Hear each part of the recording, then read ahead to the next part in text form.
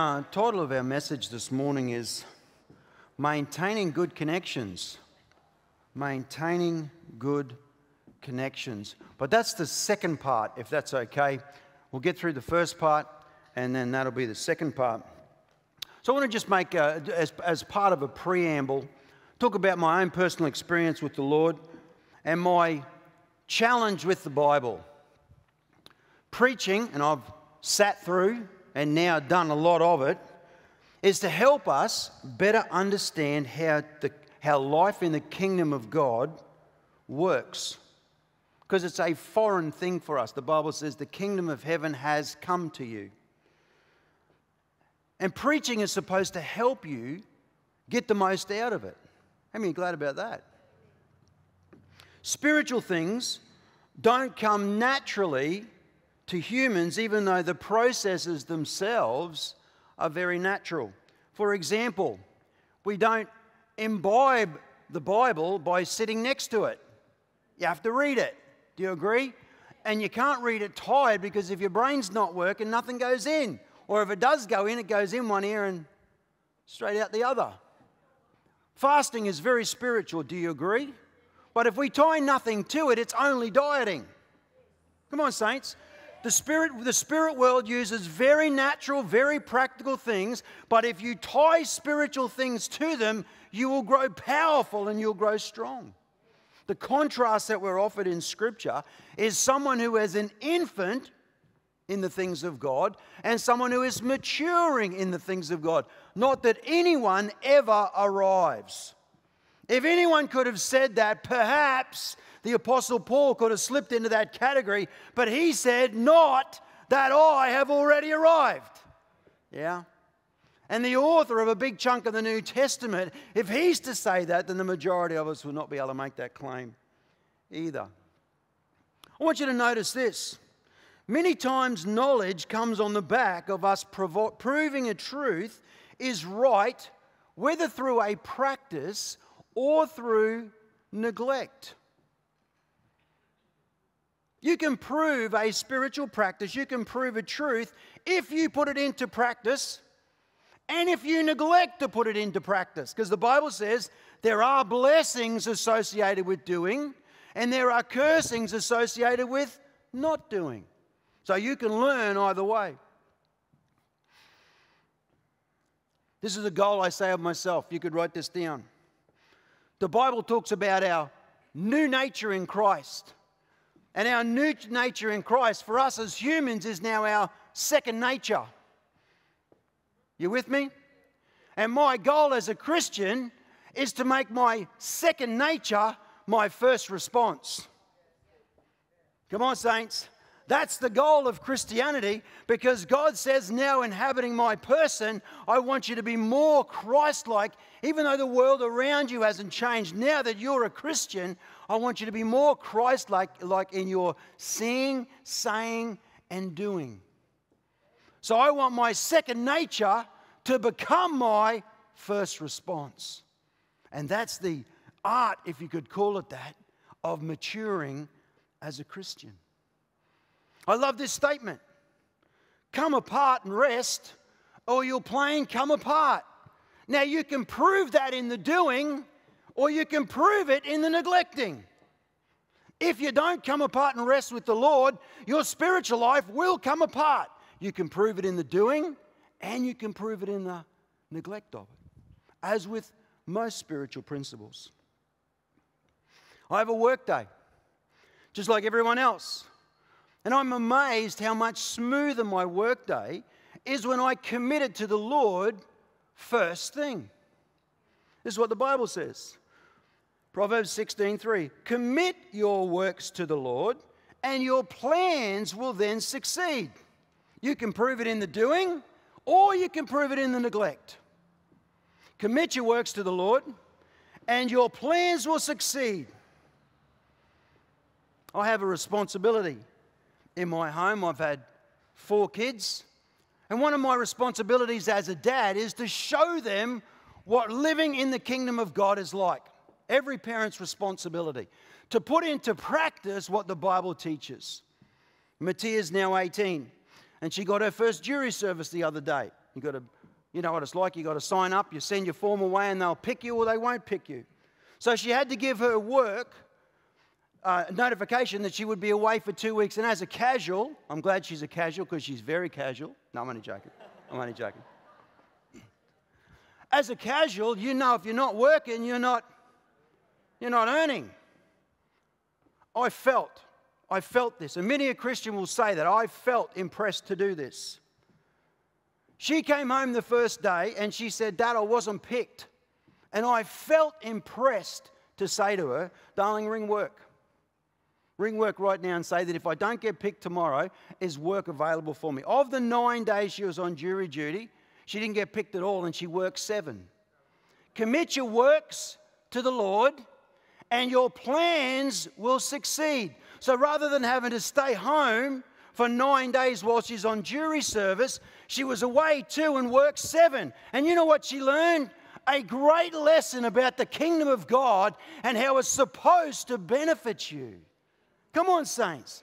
We are Christian. The Bible says the kingdom of heaven is now in you. We'll talk a little bit more about that later on. So here's some of the challenges if you're going to understand the Bible. To understand it, you have to understand a little of the culture and the time in which it was written. These two cultures that are of interest to us are on the other side of the world. They are the Israelites and the Roman culture. And many of the writings in the, in the Old New Testament are from there. But listen to this the writers gave us about five important subjects for us to know and, in some respects, master. They use common day to day things for Christians to understand and explore their newfound faith. The first is an understanding of agriculture. And you and I both know, as soon as I say that, you go, oh, yes, of course. So much of the New Testament comes to us with you having an understanding of how agriculture works. I'll give you an example. We hear teaching on the seed and the soil. We hear about roots and we hear about fruits. We're told Jesus is the true vine and you and I are his branches. And we're to watch out for the secateurs. Amen. The second obvious stands out to us is about builders and buildings. We are reminded that God is a builder. Psalm 127 Unless the Lord builds the house, all your labor is in vain. That's a powerful truth, would you agree? He says God is a builder and we are his building. He says, and the principle's sound, make sure that the foundations are good for when the storms come. And he also says, be careful that you build brick by brick, line upon line, and precept upon precept. What qualifies you to do what I do is that you know this. What qualifies you to do what you do is that you know the Word. You've got to know the Word. That's how the kingdom of heaven works for you. The third one, you might be interesting to notice this. The, the third one is, is built around an idea of nautical things. So I'll give you an example. Paul said that we could be tossed to and fro by every wind of doctrine, like a small boat caught on the sea. And how many ever been caught in a storm? And you felt like your face being knocked to and fro. He also said that it's possible, if you don't guard your conscience, that you could shipwreck your faith. The writer of Hebrews says of your faith that your confession of hope is an anchor for your soul, both sure and steadfast, and enters the presence beyond the veil. That's pretty good, am I right? And as soon as I say that, you're like, well, of course, boats have anchors and they've got to be careful the seas that they're on. Yes, I get all of that. Isn't it amazing how it all fits together? The fourth one is you have to understand a little bit of athletics. Not do, thank goodness for Christians, just listen and understand the principle. Because Paul says, run your race. He says, fight your fight, finish your course, and finish well. Another one. He says, in spiritual things, discipline your body. You know why the church of Jesus Christ at large in the world doesn't pray? It's not because we're not spiritual. Jesus said the spirit is willing, but the body needs discipline. Because, like I said, spiritual things don't come naturally to us humans. We have to discipline our body. And when you come to pray, that's not a time to sleep, it's a time to say, like our pastor says. When you pray, say.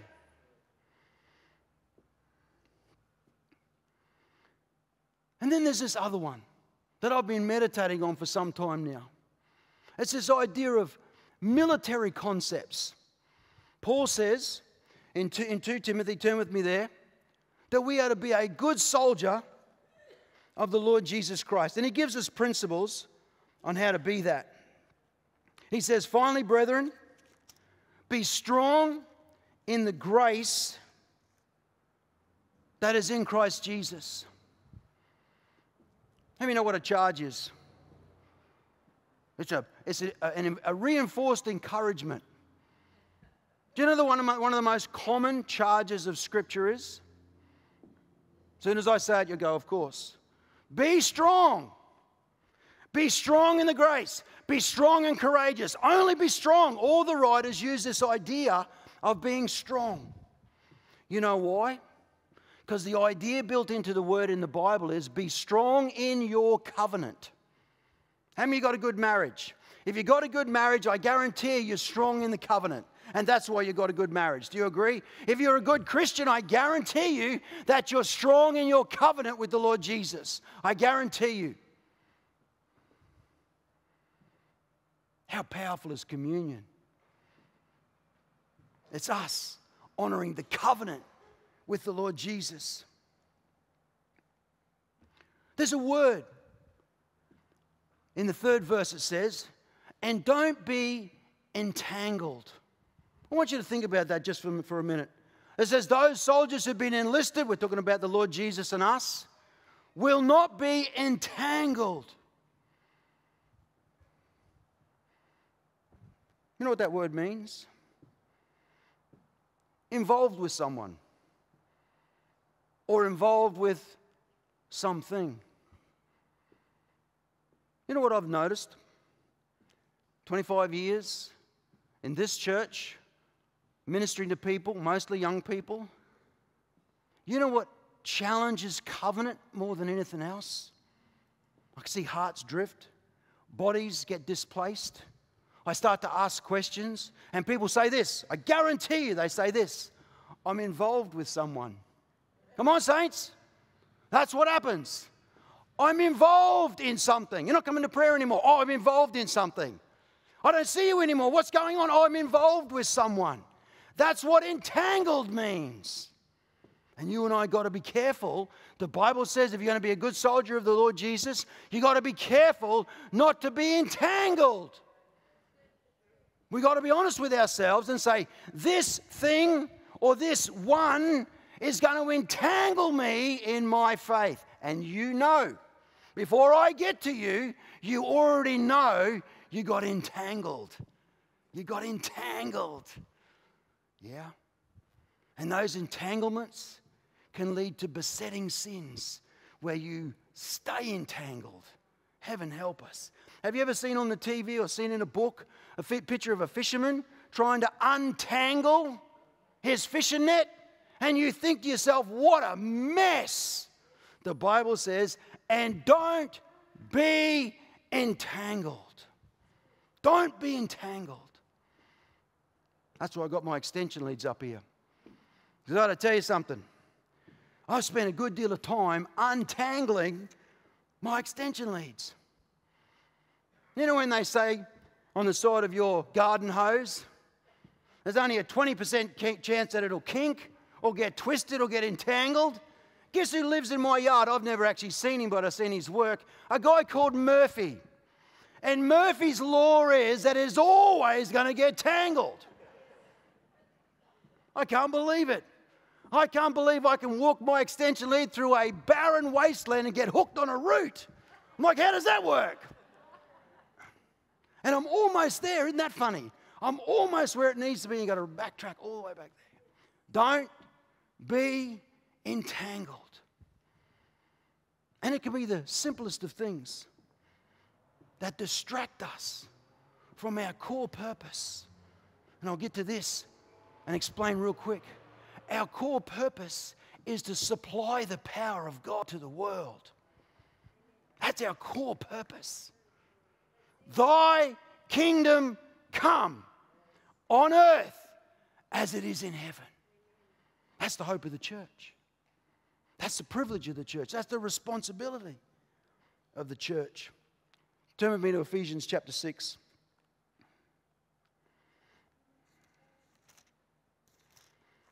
Have a listen to this. I'm going to focus in on one word here for you as well. From verse 10 Finally, my brethren, be strong. What does that word mean? Strong in your covenant. Strong in your covenant. Strong in your covenant. Do you know you can know the Bible back to front and not be strong in your covenant with the Lord? It's not about knowing the Bible.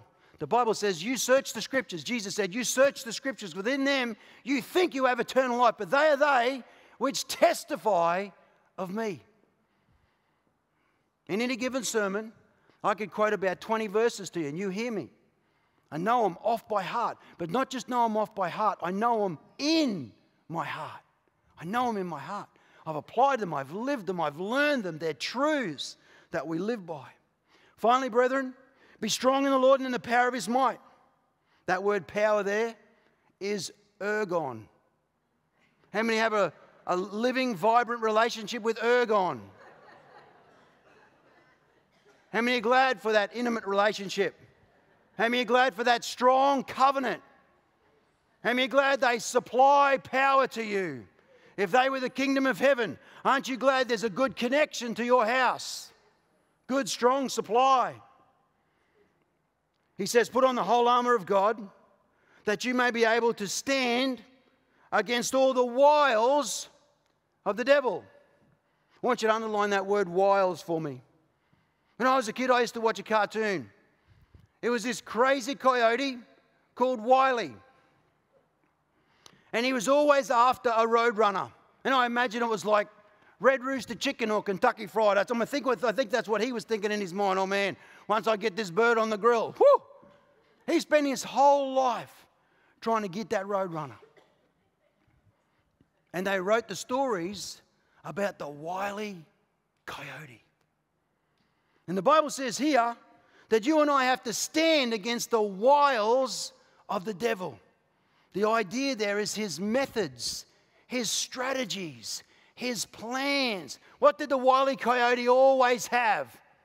A strategy, a plan. I got something going on, I'm going to get him this time. And the Bible says that you and I have to stand against the wiles of the devil. For we do not wrestle against flesh and blood, but against principalities and powers, against the rulers of darkness of this age, against spiritual hosts of wickedness in heavenly places. If our world is falling down around us, it is our responsibility as a church to come together and pray that the kingdom of God would manifest in our world. Because only God can put this thing back together. But He's yoked His power, His awesome power to the church and through us, the power is delivered.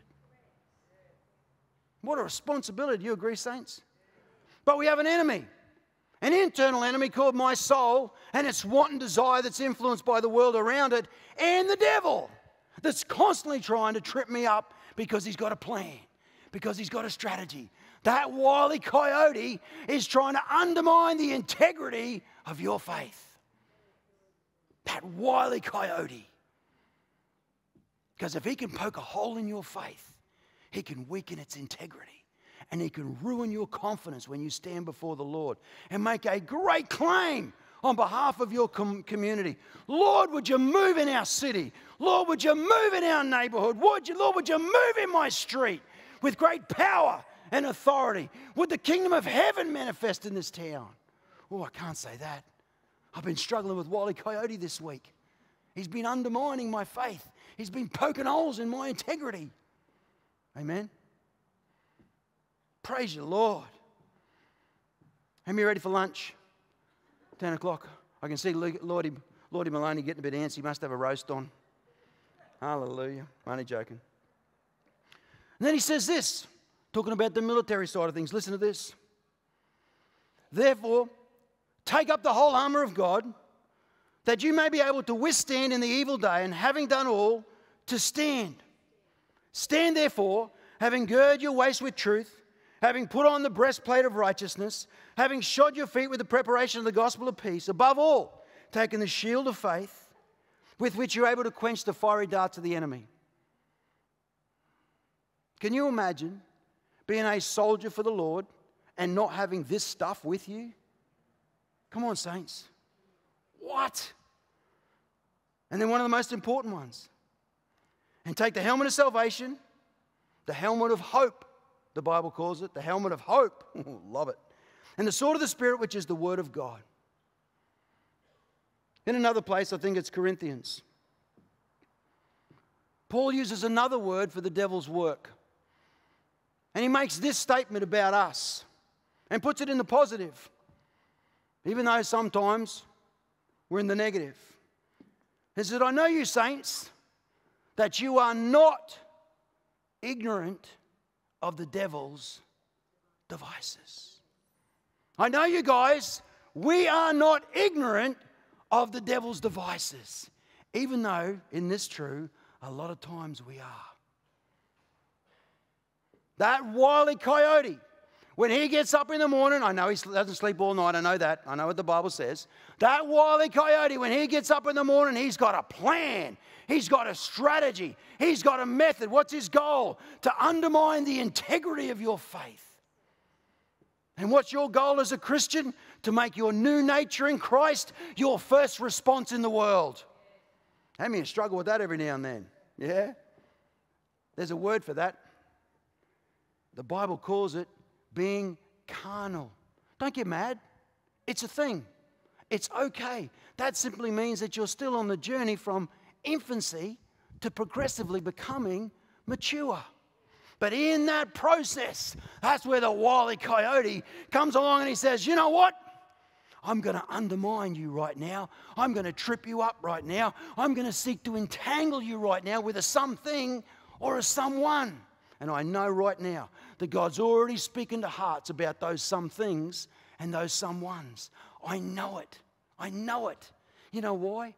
Because every day I have to manage my own soul and say, like David, if there's anything or anyone that's undermining the integrity of my love covenant with you, Lord, then you've got to remove it from my heart. Because it could be a TV show, it could be a sport, it could be a comfort. It doesn't even have to be a sin, it could just be a comfort. And because of that thing, your faith is not growing. Paul said, often, you know this. 1 Corinthians, 2 Corinthians. I just make it up now.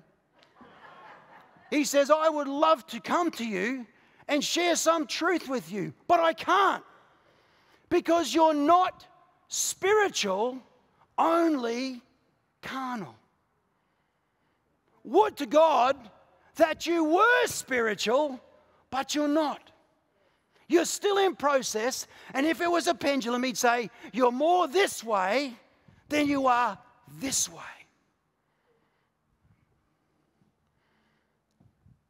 We are not ignorant of the devil's devices. Have a listen to this. That word device there is something imposed to stop the flow. Huh. We are not ignorant of the devil's devices. That idea there is he's going to put something in the way that stops the flow.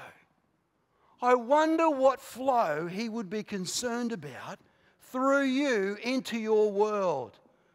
Maybe God's awesome power and grace and joy and peace that has transformed your life and mine, He does not want more of that in the world. Come on, saints. So he's doing everything he can to put a device in the way that stops the flow. Everything he can. As you know, I was reading a military book. About this because I have no understanding. I'm not a military person. I have no understanding of first century military paraphernalia or whatever. And I was trying to understand where Paul got his insights from. And one of the ideas, as you know, was about you as a person and your activities with the sword.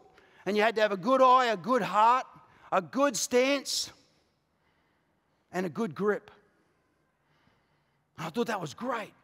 That was powerful. And he went on to explain a few things about that about your balance, center of gravity, the whole thing. And then he says this big but. And he says, always fight with your advantage in mind. And we're not to talk about the size of a person, speed of a person, whatever. You can, you can imagine that would be a thing in a battle. And he says this, are you ready? You have to write this down. For example, not a Christian man, for example, always fight with the sun at your back. I was done. I read S U N and saw S O N. I thought, what? He's just given us Christianity in a package right there. If you're ever going to go into a spiritual battle, make sure the sun's got your back. Come on, saints. I thought you'd be on your chairs right there. Imagine that flash of steel, metaphorically, and that glint in his eyes, and looking at you, but seeing the sun. Come on, saints. Why does the Bible say of the church that we are invincible? Because the sun's got our back. And the sun is the one that took him all the way and said, I'm going to defeat you at the cross, and you're not going to rise again. And all he's left with, all he's left with in our lives is something that entangles us, a little device that he tries to slip in the way to stop the flow. Come on, saints. We have a real enemy, but the sun's got our back. If I was a dancer, I'd be dancing right now. Always remember, church, in a spiritual battle, the sun's got your back. The sun's got your back. The sun's got your back. And we, as the Bible says, and we glory in the cross. We remind the devil he's defeated. He's got no power over our lives other than what we give to him ourselves. Because all, all he's got, that wily coyote, is those little devices. And you and I know what they are. We've seen them before, we've seen their work, we've seen them stop the flow. Come on, saints. We've seen them stop the flow. You rat of a devil. And you know what we've got to do? We've got to go back and we've got to reapply what we've learned because you can learn through neglect and you can prove through doing.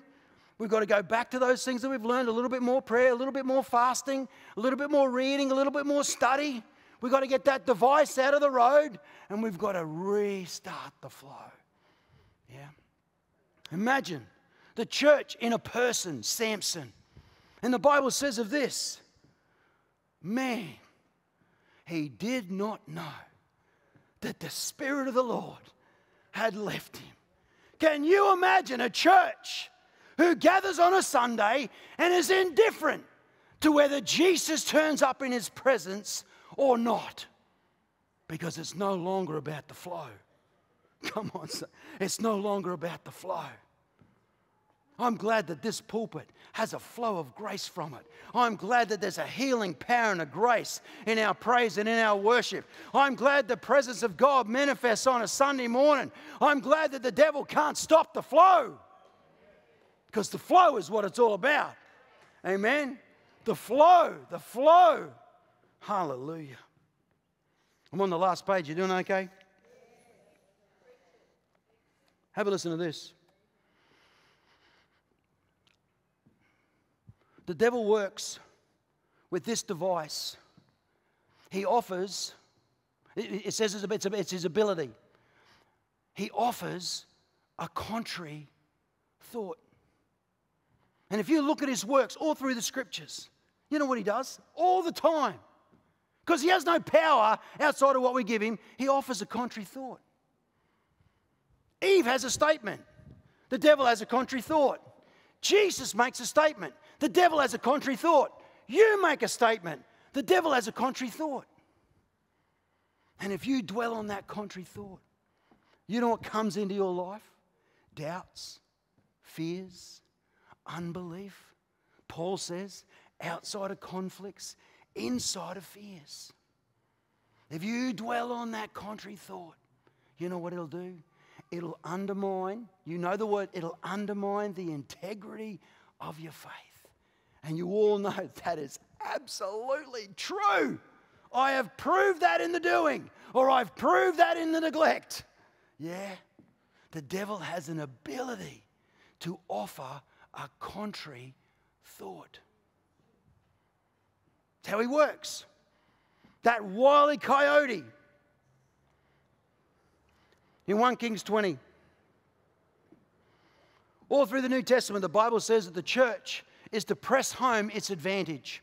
The Bible says in Ephesians, deal with your anger lest you give a mighty foothold to the devil. Another translation says you'll give your advantage to the devil. We say of a football team, a basketball team, that they have a home field advantage, a home crowd advantage. Do you know what you and I have? We've got the sun at our back. Come on, saints. We got the sun at our back. That's the advantage. He died on the cross for our sins. You and I are free for an eternity. Hallelujah. The devil can't stop the flow unless you start to believe the contrary thought.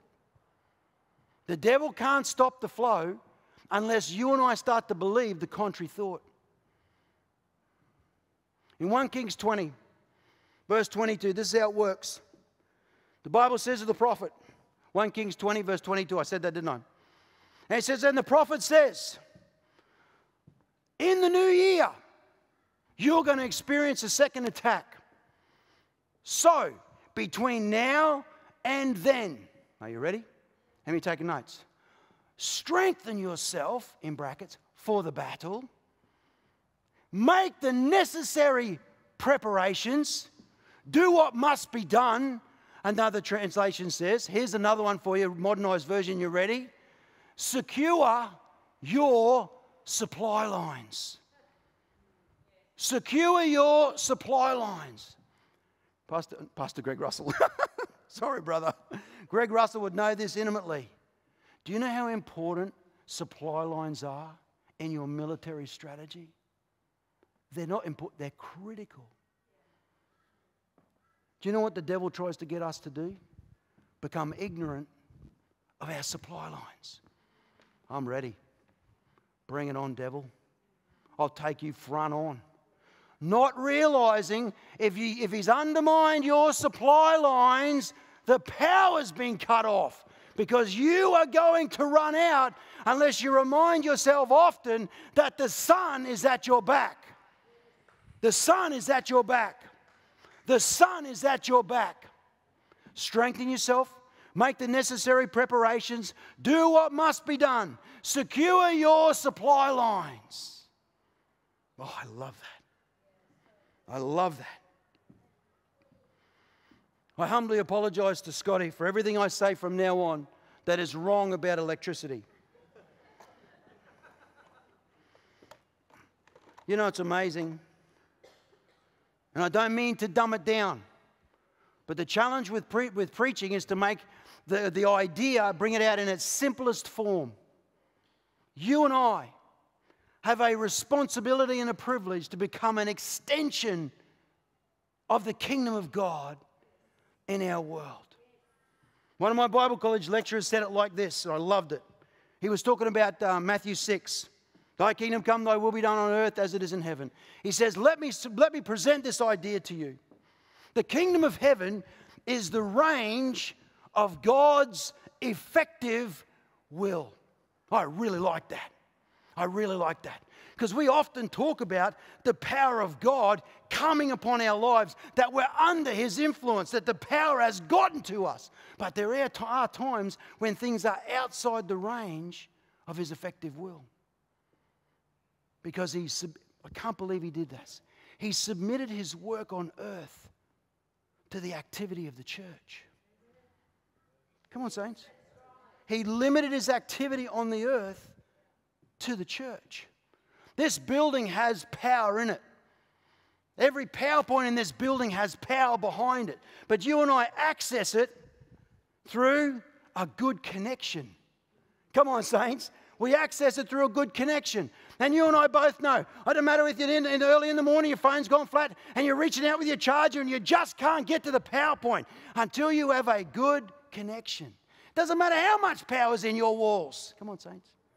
Doesn't matter how much power is in your walls until you make a good connection. And then what's your challenge? Maintaining good connections. Maintaining good connections. I remember my uncle. We lived on a farm. He said to me one day, I need you to paint some of the machinery. I was maybe 11 or 12 or something. And I knew all the basics. It needs the compressor, it needs the paint thing, I need the paint. And he said, the, the, the big thing I want you to paint's up on the shed. I won't get into the details. I knew what they were, but the great big massive steel thing. So I went and got every single extension lead I could on the farm. And that thing would have been, I don't know, 300, 400 meters up the paddock. And I hadn't gone maybe 70 or 80 meters. Now, Scotty would say, Please don't tell me you plugged that thing in. I did. I did. Do you know it's our challenge? I'll, I'll finish the story real quick. My uncle got home about 6 o'clock that evening. I'd done nothing all day. Even though I said to him, I've searched all day for extension leads and I've plugged them all together. I've got a good connection all the way back to the house. I'm not even halfway there and the job's not done. You know what he did? He went and got the tractor, picked up the machinery and pulled it closer to the house. And I thought to myself, what think of that? How cool is that? Let me tell you what happened. He moved the machinery into the range of the effective will. He moved the machinery into the range of the effective will. You and I have a privilege and a responsibility. We don't, we don't have the power in us, but the power is supplied through us. You know what this is?